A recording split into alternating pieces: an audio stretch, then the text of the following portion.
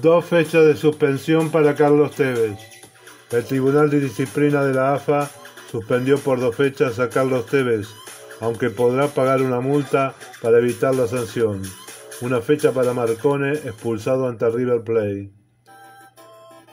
Comillas, se suspende por dos partidos o se le multa en BE 46 en pesos 455.400 al director técnico Carlos Alberto Tevez del Club Independiente. Artículos 195 y 260 1 del RD. Por declaraciones periodísticas inadecuadas tras el partido ante Barraca Central.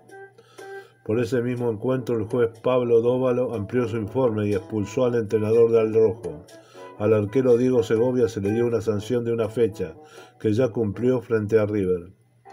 En cuanto a Iván Marcone, expulsado por doble amarilla ante el Millonario, se lo suspendió por un partido, que cumplirá en la tarde cuando jugó contra Riestra. Además, y reforzando el dictamen de la semana pasada tras la polémica ante Barracas, deberá presentar una defensa.